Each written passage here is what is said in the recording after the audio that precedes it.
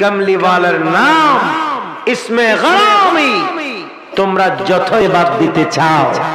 এটা কি কখনো বাদ দেওয়া সম্ভব হবে? সবাই বলুন, সম্ভব হবে? কলেমার বিরুদ্ধাচরণ করছে। কেমন জালেম হলে কলেমা থেকে আমার নবীর নাম বাদ দিতে পারে। কেমন শয়তান হলে এই কথা পারে ঠিক নেবে, ঠিক। অথচ বড় আফসোস।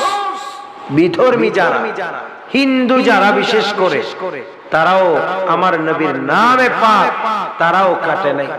তারাও এই কলেমা তাদের সংস্কৃতি ভাষায় হিন্দুরা যখন মরে যায় মরার আগে আগে ব্রাহ্মণ গিয়ে আরেক হিন্দুকে এটা মুখে মুখে পড়ায়। কি পড়ায়? সে বলে লা ইল হরতি পাপম ইল্ল ইল্হ হরম পদম। জন্ম বৈকুণ্ঠ অর ইনুতি, জফিনা মোহাম্মদম। একটু জোরে বলুন না, সুবহানাল্লাহ। বহু সুন্দর হিন্দু লা ইলাহা হরতি পাপম। এই আমার হিন্দু বলে কিছুক্ষণ পরে তুমি মরবা। তুমি লা ইলাহা জপো। ফরতি পাপম, তোমার পাপ মাফ হয়ে যাবে। ইল্লে ইলকা করম পদ, আর ইল্লাল্লাহ জপলে তুমি স্বর্গে যেতে পারবে।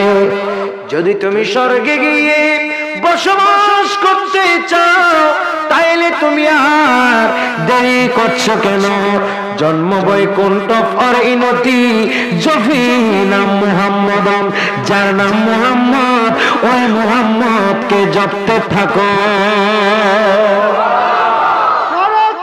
আল্লাহ তারা পর্যন্ত তারা পর্যন্ত এই ইসমে গ্রামীকে বাদ দেয় নাই। আর তুমি মুসলমান হয়ে এটাকে বাদ দিয়েছ। হিন্দুর চেয়ে তো খারাপ। ঠিক নেবে ঠিক এগুলা তো এরকম বিধর্মীর চেয়ে খারাপ। বিধর্মীরা তো বিধর্মী ঠিক নেবে ঠিক আর তুমি তো বিধর্মী না মুসলমান সেজে।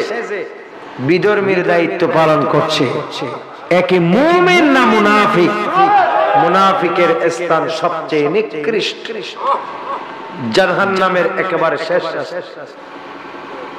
পেরহাজরি সিদ্দিকে আকবরের আদর্শ দেখে নবীজিকে ভালোবাসলে ইজ্জত বাড়ে না কমে সবাই বলে না বাড়ে না কমে সেই জন্য সিদ্দিক আল্লাহ বলেন মুহাম্মদুর রসুল্লাহ والذين معه أشداء على الكفار মুহাম্মদ আলাইহি সাল্লাম এবং আল্লাহ এবং রসুলের বাহিনী।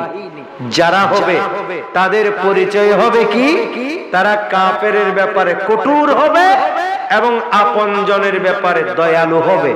একটু জুড়ে বলুন না, সুবহানাল্লাহ। এটা হচ্ছে ইমানদারের বৈশিষ্ট্য। কথা বলেন, কার বৈশিষ্ট্য? আর বেঈমান হলে কাফের সাথে সম্পর্ক ভালো। বেঈমান হলে কাফের সাথে সম্পর্ক ভালো আর ইমানদারের সাথে সম্পর্ক খারাপ। ঠিক নেবে ঠিক মুনাফিক হলে বেঈমান হলে আর ইমানদার হলে রুহামা উবাইনাহু আপনজনের ব্যাপারে বড় দয়ালু হবে। আশিদ্ধাও আলাল কুফার কাফেরের ব্যাপারে কঠোর হবে। ঠিক নেবে ঠিক আল্লাহ বলেন আশিদ্ধাও তারার পরিচয়, তারা কাফের ব্যাপারে সেজন্য সিদ্দিক আকবর নিজের বাবা আবি আবি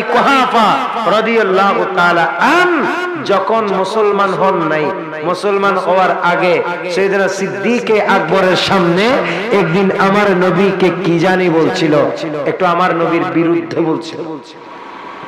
সিদ্দিক আকবর বাপ টাপাত দেখে নাই। তফসির মাজহারিতে আছে।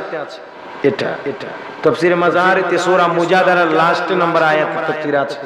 সিদ্দিক আকবরের বাবা যখন নবীজিকে একটু গালমন্দ করেছে সাথে সাথে এমন সজুরে খুশি মেরেছে গোটা বাবের গালের দাগ পর্যন্ত ফেলে দিছে।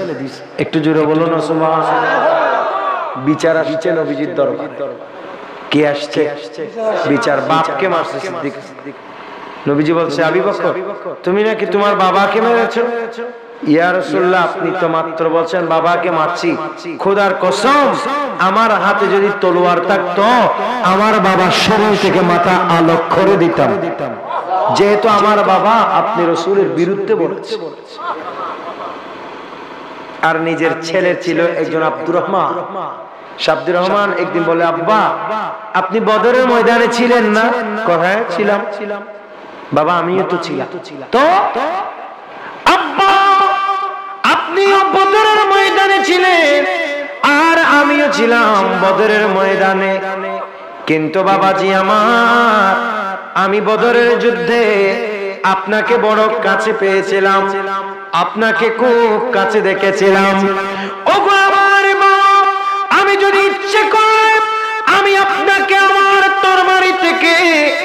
একেবারে আমি আপনার শরীর থেকে আমি মাথাটা পৃথক করে দিতে পারতাম।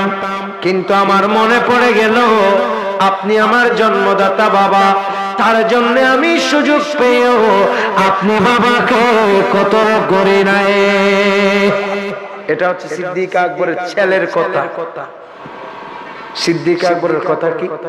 এ আমার বাবা আব্দুর রহমান, তুমি তো আমাকে কতল করো নাই।